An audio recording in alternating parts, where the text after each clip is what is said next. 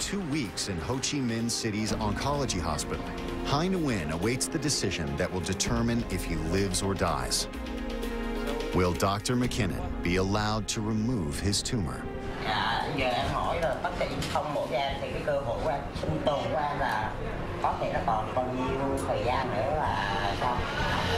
I should uh, honestly tell you that uh, it's a strain on your heart and lungs. It would be difficult to live uh, much more than another year with this tumor.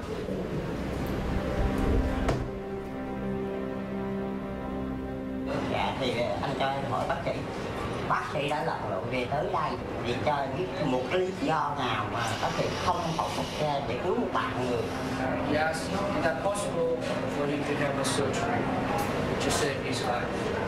Well, we, we wouldn't come unless it was possible in the first place. I can't do the surgery alone, and your other doctors here have to agree or not agree that uh, surgery is uh, possible in this hospital and with their help. To me, like the system, uh, doctor in Vietnam is complicated because on every department is different director. So the highest position can make a decision for them. We try the best to make it happen. Yes. So keep believing that. Dr. McKinnon spends the next few days sharing his expertise in the hope that it will make a difference for Hai. If there's one message, it's possible to give non-recurrence of tumor to these patients who are desperate and dying of this disease.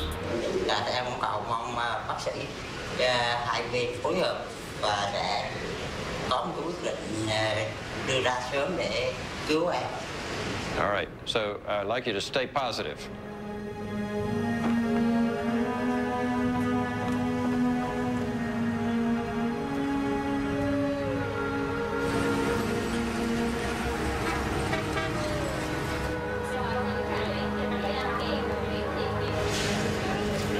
Dr. Tay. Also, McKay McKinnon. Thank you so much for coming here and for your enthusiasm to, to operate uh, our patient. I have just At the board meeting, a new decision maker appears representing the hospital.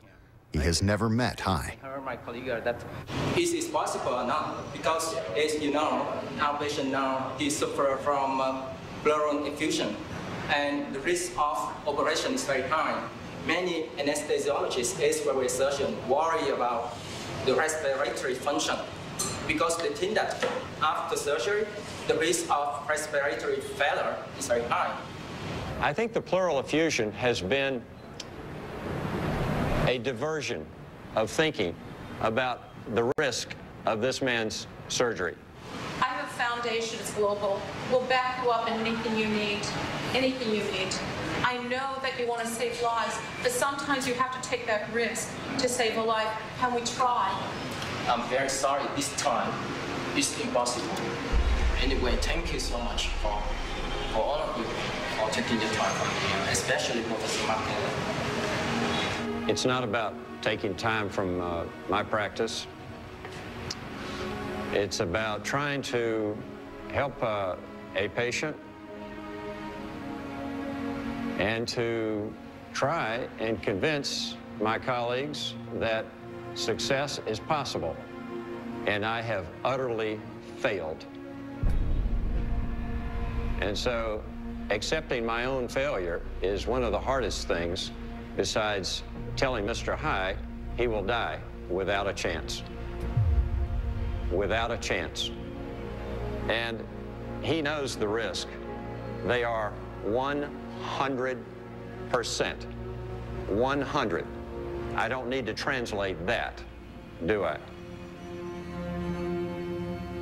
With the decision made, the hospital staff leaves it to Dr. McKinnon to break the bad news to Hai. They all want to help Mr. Hai. There's no question about that in my mind. It's clear that the staff are responding to more than just the medical needs of a patient. The overlay of politics and outside pressure is palpable here. We, we just have to deal with it. I have failed to convince the team here at the Ho Chi Minh City Tumor Hospital that this could be successfully done here.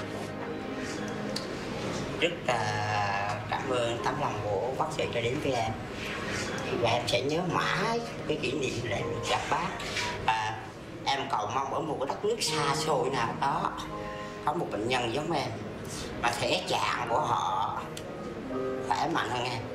Và chính tay bác sĩ này cầm con dao, phẫu thuật cho họ và giải thoát cho họ trên đường sống cái bây giờ còn đi nghe phần cuối số của em như vậy để em chấp nhận. Và em sẽ mong rằng bác sĩ, có một lúc nào đó bác sĩ hồi tưởng về Việt Nam, bác sĩ sẽ nhớ có một bệnh nhân như em.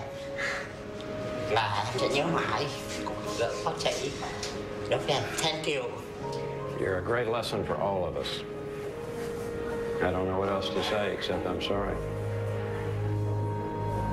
Has Hai come this far for nothing?